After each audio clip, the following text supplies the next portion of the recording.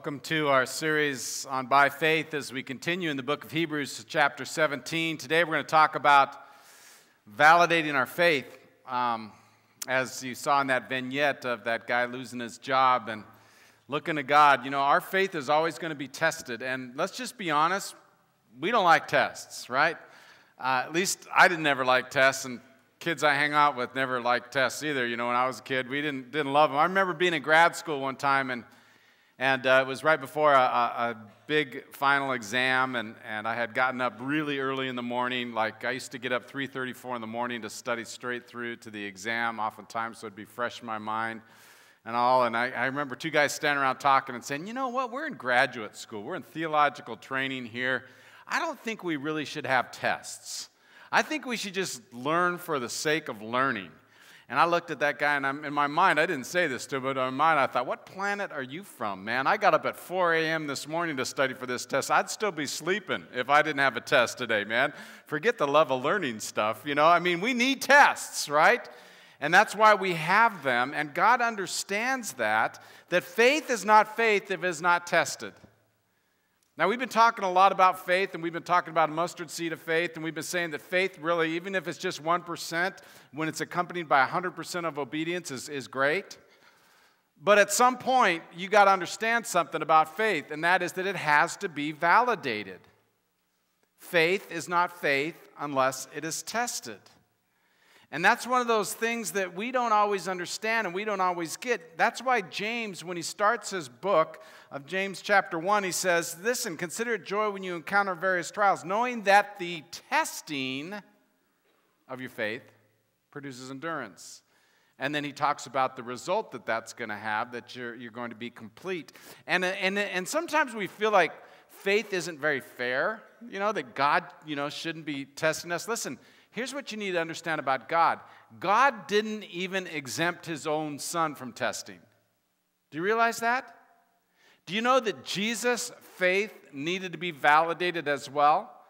In fact, Matthew chapter 4, verse 1, it says, Jesus was led up by the Spirit into the wilderness to be tempted by the devil. Okay? He had fasted for 40 days and 40 nights and he became hungry. And that's when the test came for, for Jesus Christ to be tested. Our text today is Hebrews chapter 11, verse 17. It says this By faith, when he was, get this, tested, offered up Isaac, who had received the promise, was an offering up to his only begotten son. Okay, verse 18. It was him to whom it was said, In Isaac your descendants shall be called. So the promise of Abraham to be a great nation was going to go through the line of Isaac. That's the one that God called him to offer up as a sacrifice. Verse 19, here's what it says about Abraham's faith, okay? He considered that God is able to raise people even from the dead, from which he also received him back as a type. These three short verses today, we're going to dig into and look at a threefold test that God takes Abraham through testing his love, testing his emotions, and testing his commitment. Now, here's what you need about tests in your life God customizes tests for each of us. Your test is going to look different than my test, but I can guarantee you this if you are a follower of Christ, God is going to test your faith. Sometimes you're going to pass, sometimes you're not going to pass. But the fact of the matter is, we need to be prepared for testing to validate our faith. And lest you believe that somehow God is doing it because he doesn't like you, understand that he's actually doing it because he loves you.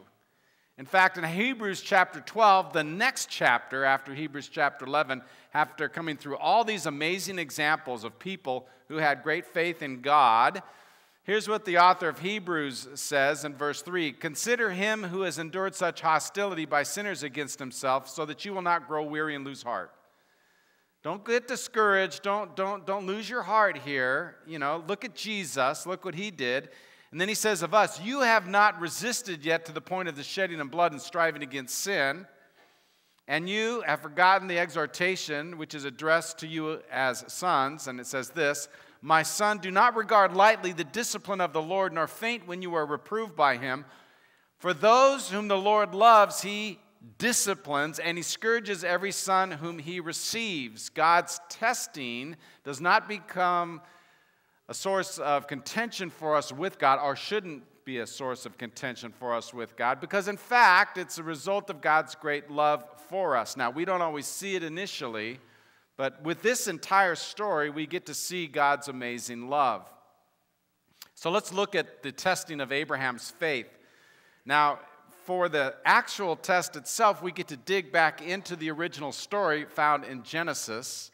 A lot of Genesis happens to be dedicated to Abraham.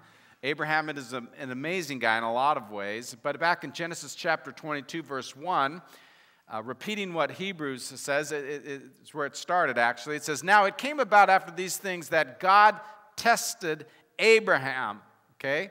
And he said to him, and Abraham, and Abraham said, Here I am, take your son, your only son, whom you love, Isaac Go to the land of Moriah, offer him there as a burnt offering on one of the mountains which I will tell you. And so here God comes to Abraham, speaking to him, and gives the ultimate ask. Do you know what the ultimate ask is? It's the very hardest thing that anyone could possibly ever ask of you. That's the ultimate ask. And God comes to Abraham with the ultimate ask, to which Abraham has got to be thinking God, you gave him to me. You promised. You said it was through him that all of the promises that you made me would be fulfilled. And, and, and it's interesting that here he says, Take your son, your only son whom you love. Uh, question, theological question for you. Was it his only son?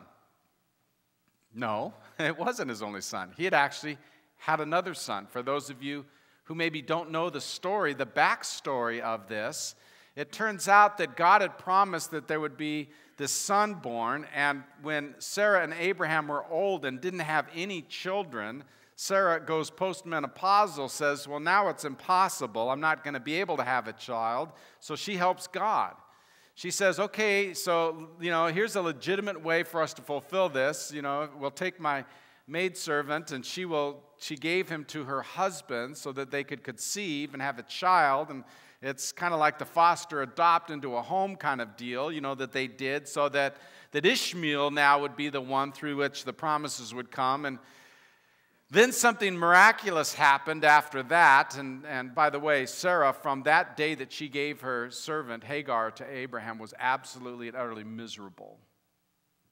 She became the laughing stock. And, uh, and Hagar didn't make it easy on her, by the way, as you read the story. We get a lot of detail there that's, that's really remarkable. And you, this, you pity this poor woman who, you know, what a noble thing to do, you know, to to be able to sacrifice your own heart, and your own desires, and all those other kinds of things, and you know, to try to fulfill a promise that you believed was, you know, and your best intentions trying to do, and all of those other kinds of things, only to become mocked and all of those other things. And then finally, the miraculous happens, and she has a baby. And she does have a child.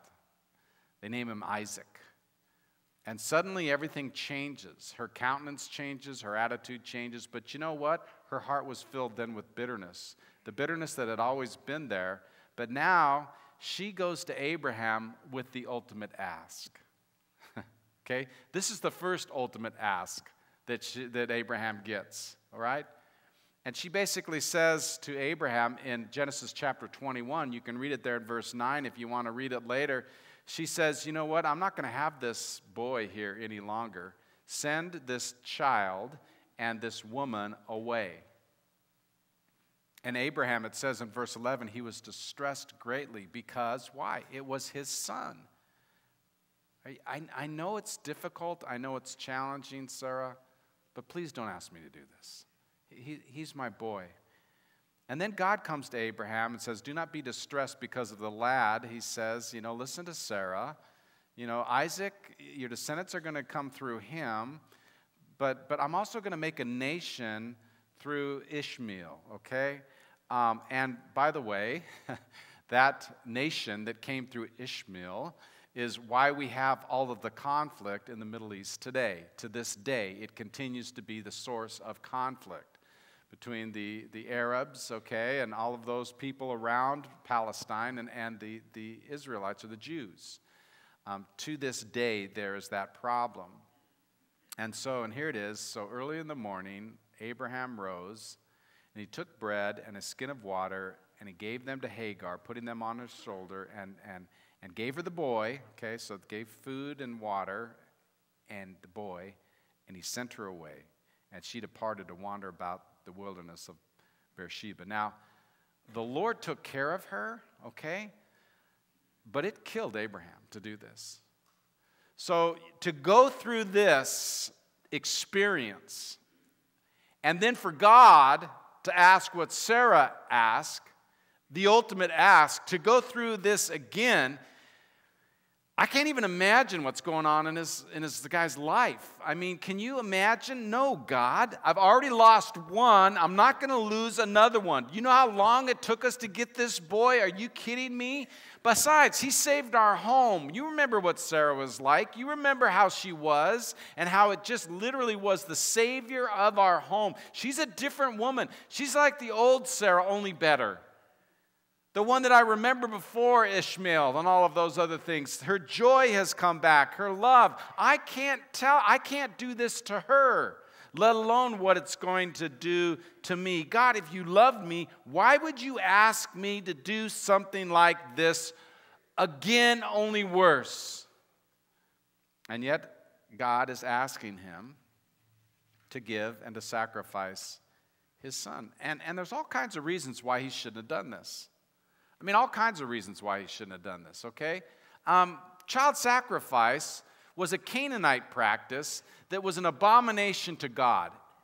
Everybody knew that, all right? Besides, one of the commandments, thou shalt not murder, okay, we're going to be violating a commandment here when I do this. And God, you specifically promised me that uh, the heirs are going to come through Isaac. How is that in the world going to be fulfilled? And so, all kinds of doubts and reasons, good reasons, by the way, why he shouldn't do this were hitting his head. Satan loves to use our doubts, leverage them with some really valid, good reasons. The same thing he did to Eve in the garden, okay, is the thing that he does to us all of the time. And now Abraham is left with this issue what am I supposed to do? Okay? What am I supposed to do? Um, the big ask from God.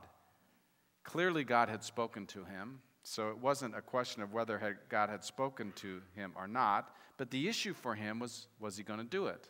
Because he doesn't have the best track record, if you dig into his history, of always doing things the way that God says you should do things, okay? He, he really did struggle with his emotions and making some poor decisions in the past. So the ask comes, and what's very interesting about this is that the verse 3 in Genesis 22 um, says, you know, that he got up early the next morning to take his son on this journey. What I admire about him is that he didn't wait. He didn't wait days. He didn't wait weeks. He didn't wait months. He didn't think about it. He didn't contemplate it. He, uh, he just did the Nike thing, right? You know, just do it. He didn't think about it. He just got up the next day and headed out on this journey. And so it takes us now into the emotions of this man has for his children. And now we get to see the emotional side of what he's going through on this journey. He rose early the next morning, he saddled up his donkey, he took the two young men with him. He split the wood for the offering. They rose and, and, and went to that place which the Lord had told them. And on the third day, he raised his eyes and he saw him from a distance. This is a three to four day journey that Abraham, an old man at this time, takes, kind of like a father son trip with two servants, okay? And, and the, the modern day equivalency would be a hunting trip for dads and, and sons. Now, I didn't grow up in a home where my dad was a hunter, so we didn't go on hunting trips. But I kind of lived a little bit vicariously when Rich Fisher was with us. And, uh, you know, Rich would always tell the stories about, you know, hunting trips. And then, you know, when his boys were growing up, they're about the same ages as my kids and maybe a little older. But that, that you know, he would come back on a weekend and on a Monday and tell us about a hunting trip that he had taken his boys on and those kinds of things. And then Adam came along, you know, and Adam told about these exotic trips that he went on hunting with his dad that. And then when Connor came along, then all of a sudden he's taking Connor on these hunting trips, and they've never ever missed a dove season opening, and all these other kinds of things. You know, there's something about a bonding that takes place when dads and sons go together on some kind of trip together. And that's kind of what this was. It was a father son trip. It was a three day journey together, and they were going along. And yet, think about the emotions for a moment of Abraham, who was at this moment utterly alone. Even though he had two servants and his son, all he had on that three day journey was that loneliness of his own thoughts with no one to talk to. And I'll tell you what, there's nothing worse than being all alone when you're surrounded by people. And what I know is true is that every week, even in a church uh, the size of our church, you know, we'll have 12 to 1,500 people here on a Sunday, on a weekend. And uh, there are people here sitting in a crowd that are utterly all alone with their own thoughts because of the trial, the test that they're going through with no one to talk to. That's exactly where he is. It's amazing how pain isolates us. And so here we have this self imposed silence. You know, what's he going to do? You know, he can't tell his wife what he's going to do. There's not a way in the world she'd let him go. Not going to tell his son, oh, by the way, son, it's a three day trip, but you're going to, you know, die at the end of it. You know, come on. You know, he's not telling him, right? So he's, he, he has no one. And so, you know, when you, when you talk about taking this step of faith with God, sometimes it can be very, very isolating and very, very difficult. Back to Genesis 22, verse 5 Abraham said to his young men, Stay here with the donkey, and the lad and I will go over there, and we will worship, and get this, and return to you. He said, We'll return to you. Now, you've got one of two options later that we'll talk about, okay? Either he was lying or he actually believed it. Okay, those are the only two options. Either he lied, we're coming back, or he actually believed it, okay? And so Abraham took the wood of the burnt offering and laid it on Isaac, his son. Again, Abraham was old, so the boy gets to carry the own wood that he's going to be used to be sacrificed, the fire, the kindling for the fire, the fire and the knife. The two of them walked together. They walked together. And Isaac spoke to Abraham and said, My father, he said, Here, my, my son. He said, Behold the fire and the wood. And then the dreaded question that Abraham hoped would never come. He almost made it. He almost made it all the way to the place that God said he was going to sacrifice his son without having the question. Thank goodness it took place here and not at the very beginning of the trip. But he said, he said, Where's the lamb for the burnt offering? To which Abraham said, God will provide the lamb for himself for the burnt offering, my son. And so the two of them walked on together. You'll remember back that Abraham, when he was called, he was a city dweller in the land of Ur, Mesopotamia, uh, a modern city, and God called him on a camping trip to go to a land he, quote, knew not, right? So he didn't know where the heck he was going, no road map. God just called him out, and so the rest of his life he would dwell in tents not in the city. 1,200 mile journey, by the way. Took months, they walked. Then God calls him to go offer his son as a sacrifice. And at the time he's in Beersheba to Mount Moriah, all right, and that was 50 miles, three days.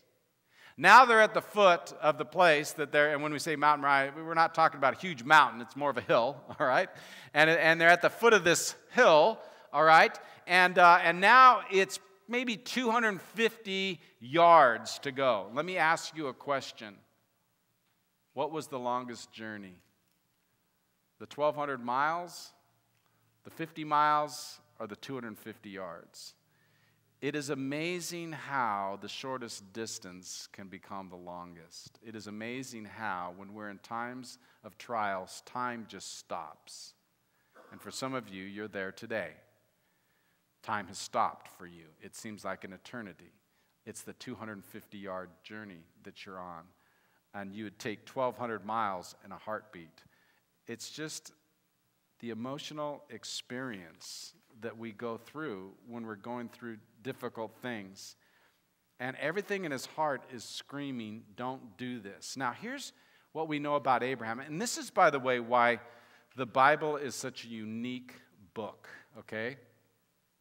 The transparency and honesty in the Word of God is unbelievable. It's unlike any other religious book.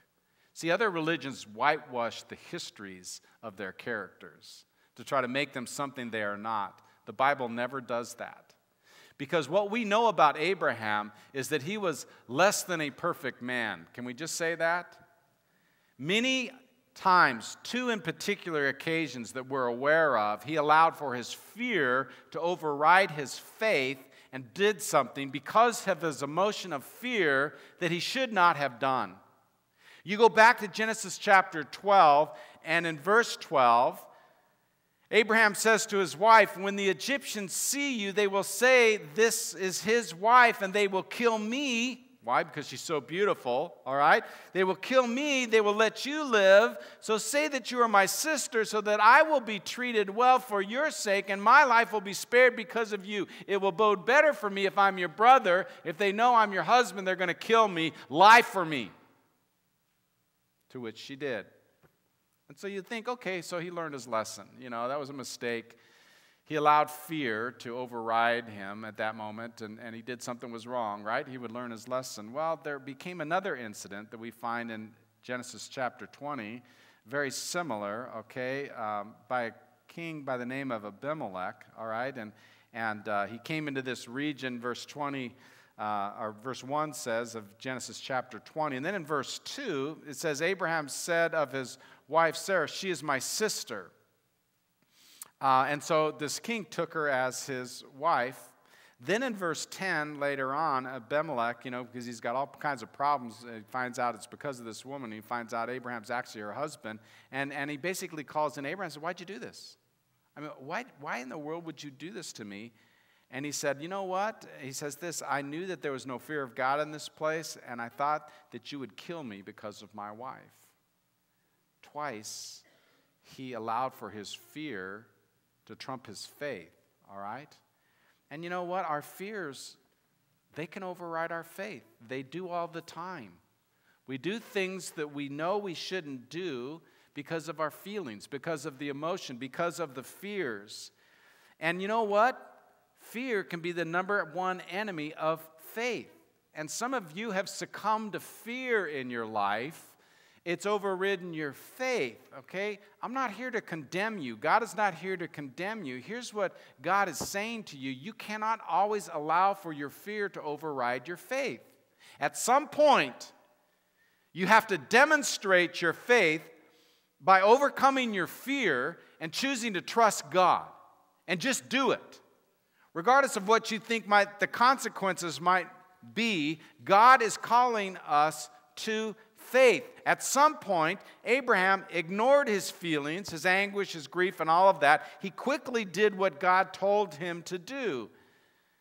We can imagine all the things that were going through in his head, and yet we understand that he chose to trust God in faith at this moment.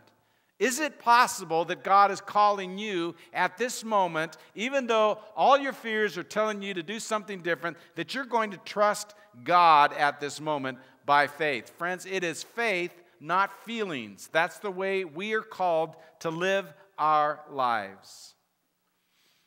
And yet, what I find amazing here, back in Genesis 22, is verse 5 when he said, We will worship and we will return. Again, two options Either he was lying or he actually believed it. Well, I'm inclined to believe he believed it. Why? Because in Hebrews chapter 11, the passage actually that we're studying today in verse 19, it says this He considered that God is able to raise people even from the dead, from which he received him back as a type. Isn't that amazing? That he actually believed that God could raise him from the dead. He was so determined to be obedient to God at this point of his life, when the ultimate ask came, he trusted God. And I'm friends, this is not simply that he would bring him back to life. This was not only a death, this was a burnt offering as well. Can you imagine that? Imagine the feat that it would take and the faith that it would take that God would somehow restore his body. There were all kinds of obstacles, all kinds of reasons that he shouldn't believe this, and yet he believed it. He believed that God would provide. Abraham set all emotion aside. And so we see this amazing commitment, his commitment, verses 9 through 12, Genesis 22. They came back to that place that God had told them. He built an altar, arranged the wood, bound his son, laid him on the altar on the top of the wood. Abraham stretched out his hand, took the knife to slay his son. What's he doing? He's following through. He is committed to do exactly what God called him to do. And let me tell you something very clearly, friends. When it comes to faith, good intentions count for nothing. Okay? We always give ourselves the benefit of the doubt with our good intentions. We may not have done exactly what God intended us for us to do or asked us to do, but we had good intentions. And the reason that we took another route is because of our quote good intentions. Good intentions don't count. Okay, true faith is all about the follow through. What do I mean by that? It's obedience. That's why we're saying mustard seed faith, 1%, good enough. 1% is good enough as long as it's followed up with what? Obedience. 100% obedience. God is all about the follow through, doing what He calls us to do. James doubles down on this in James chapter 2, verse 14, when he says, What use is it, my brother, if someone says, I have faith, but has no works. Can that faith save him? If a brother or sister is without clothing and need of daily food, if someone says to them, Go in peace, be warm, be filled, and yet you do not give them what is necessary for their body, what use is that? You may have had a warm feeling inside, good intentions, not did anything about it, but it was your heart was in the right place. If James is saying, Listen, if you don't do something about it, he said, Even so, if it has no works by itself, faith, okay, it's dead by itself. Faith is dead by itself. See, we prove our faith through testing. Faith must be validated. God will always validate your faith. God will take you through things in your life, sometimes the ultimate ask, the hardest thing. And you'll say, Really, God? And God says, Really, to validate your faith. We go through testing in every area of our lives. Why not in the spiritual arena? You're sick, you go to the doctor, they do tests. You know, you go to a mechanic, he plugs something in under your dashboard, air codes come up. It's a test. You get a driver's license, you take a test. You go to school, go to high school, you take the SAT test. God will test your faith. It's a part of refining us. This happens to be Abraham's defining moment. And he passes with flying colors. And we see this amazing reward of his faith. In Genesis chapter 22, the angel of the Lord called to him from heaven and said, Abraham, Abraham. He said, Here I am. He said, Do not stretch out your hand against the lad. Do nothing, for now I know that you fear God that you've not even withheld your own son from me. And Abraham raised his eyes and he looked, and behold, there was a ram caught in the thicket by his horns. He went and he took the ram. He offered him as a burnt offering in the place of his son. Abraham called the name that will be called, The Lord Will Provide. That's what they called it, just like he said. That's the name that he called it. Why? Because he told his boy, The Lord will provide. He did not lie to his son. God actually provided. And the reward, we see he was rewarded with three things on that day. Number one, his son was rescued. Number two, he received the approval of God. But number three, he entered into a deeper relationship with the Lord. And that's exactly what God does for us. When we're obedient in faith, you know what? God comes to the rescue. We have approval that comes from God, and we go into a deeper relationship with the Lord. When you have tested the Lord in that sense and found him to be faithful, when he tests you, and you do it and you find God to be faithful, it's an amazing thing. Your confidence in God will grow. Faith must be validated to be approved by God. We're going to have communion this morning. I'm going to ask the guys now if they would go get ready for that. As Abraham was faced with overwhelming emotion, he did not act purely upon his feelings. He came back from the mountain with a closer relationship with God. you know the statement, uh, you know, lay it all at the altar or lay it all on the altar? Some of you have been around for a while, you'll remember that statement. Um, what does that mean? I mean, it's like, you know, do we just, you know, put stuff up here in front? Is that the altar? Is this the altar? You know, what is that up there? You know, no, it's a bistro table. You know, I mean, what does it mean, lay it all on the altar? It means that God wants all of us. He wants all of us, He wants everything. What's the hardest thing for us to lay on the altar? What's your hardest thing? You know, it's so interesting in this particular story because in this instance, it happened to be his children, his child in particular. Parents, what's the hardest thing to put on the altar? it's our kids. You know, and it's not just when they're babies. You know, we dedicate them as children up here on the stage when they're babies, but we take them back immediately. You know, we, let's just be honest, right? And then we spend our whole life stressing out about them. And then, you know, even when they're adults and they're making their own decisions, you know, we feel guilty like, you know, what, what did we do wrong? You know, I mean, it's our fault. You know, we, I mean, we, we, we, you know, have our children, we feel responsible, we stay guilty until we die, you know, and that's it. we have such a hard time. And then grandchildren come along and we feel responsible. And it just, it never stops right? For a lot of us, it's saying, okay, Lord, they're yours. They're not making the decisions that I want them to make. I don't know where it's going or what's happening, but Lord, I'm, I'm just going to give them to you again. See, laying it on the altar is not a one time event, it's a continual thing. Communion, it's not a one time event, it's a continual thing. You know why? because our fear causes our faith to fail so many times.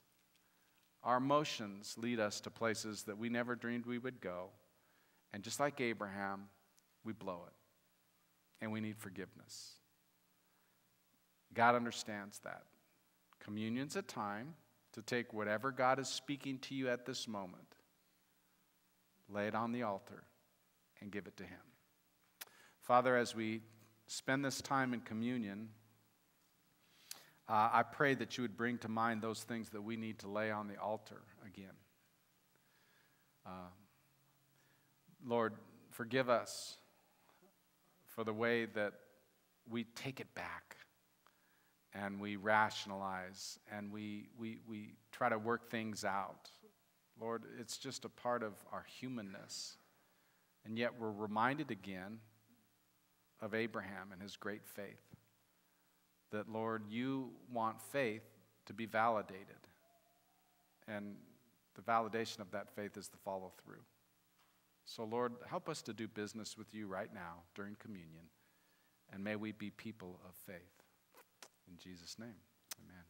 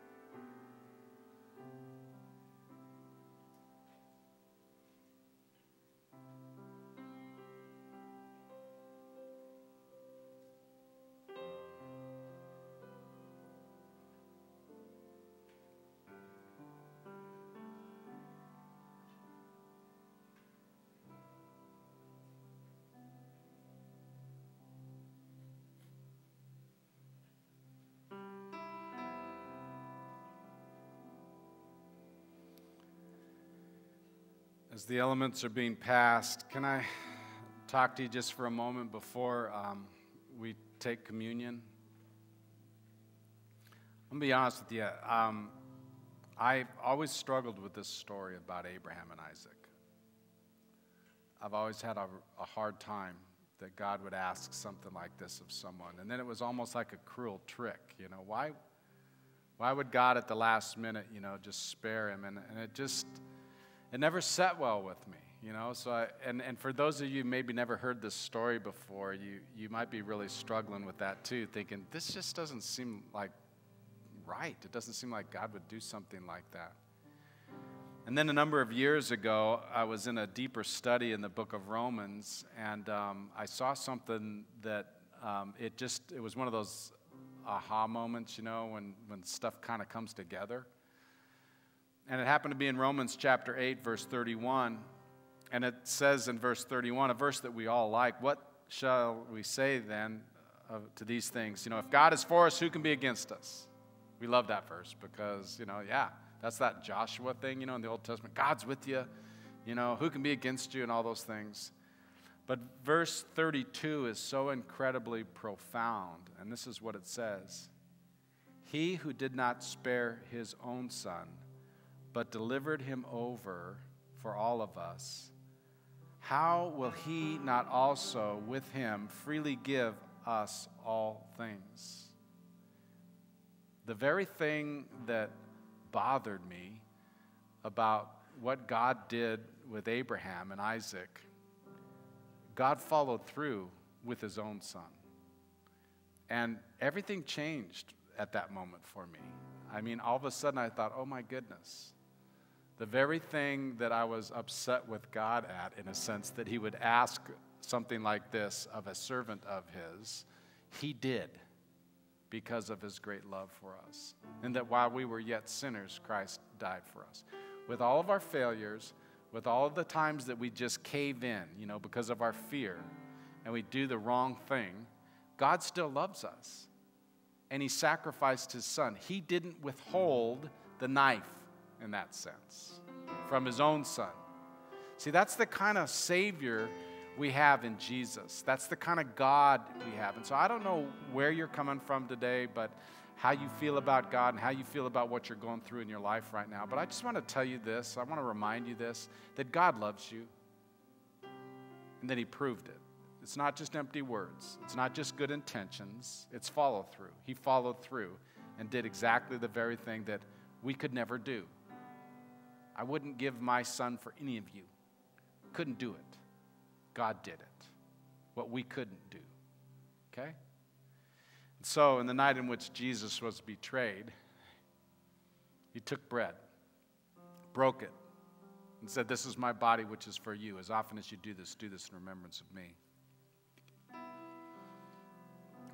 Also, after supper, taking the cup, he said, This is the new covenant in my blood. As often as you do this, do this in remembrance of me.